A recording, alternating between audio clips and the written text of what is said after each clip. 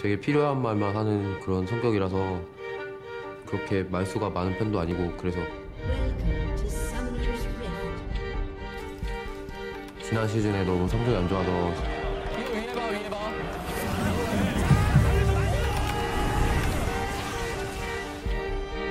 좀 잘할 수 있는 있다는 자신감이 있, 있기, 있기 때문에 좀 앞으로는 다시 뭐 최고로 평가받을 수 있을 것 같아요.